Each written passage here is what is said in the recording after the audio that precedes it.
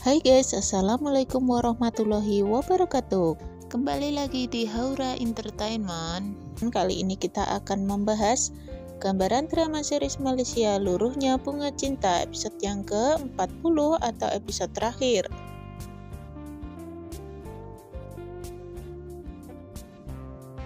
Drama Malaysia yang diadaptasi dari drama populer Korea Selatan bertajuk Atom in My Heart ini sepertinya akan berakhir dengan sad ending seperti drama aslinya. Kisah cinta dua orang saudara sepersusuan yang ditentang oleh kedua keluarga mereka. Nuh dan Nuha sebenarnya bukanlah saudara kandung, namun di masa kecil mereka pernah hidup sebagai kakak beradik disebabkan Nuha telah tertukar dengan adik kandung Nuh yang bernama Ara.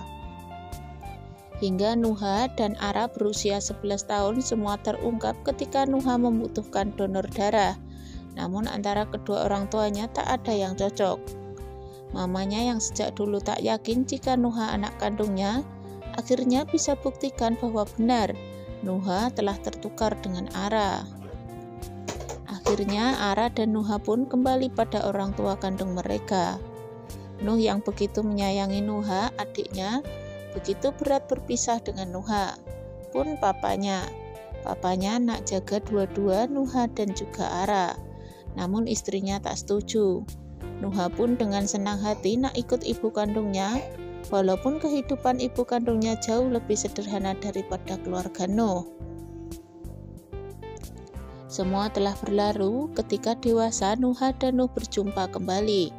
Namun mereka saling tak tahu jika pernah hidup sebagai kakak beradik, hingga akhirnya mereka saling jatuh cinta.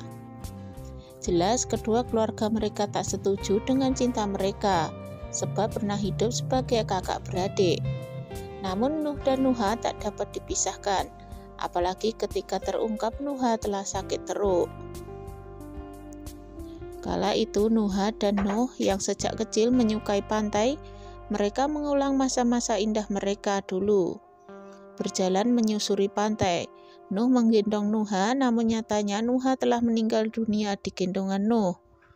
Nuh tak dapat terima takdir itu, ia lalu bunuh diri di dekat kubur arwah Nuha. Oke guys, cukup sekian pembahasan kali ini. Terima kasih sudah menonton video ini. Jangan sampai ketinggalan update selanjutnya. Jangan lupa di like, comment, share, dan subscribe. Wassalamualaikum warahmatullahi wabarakatuh.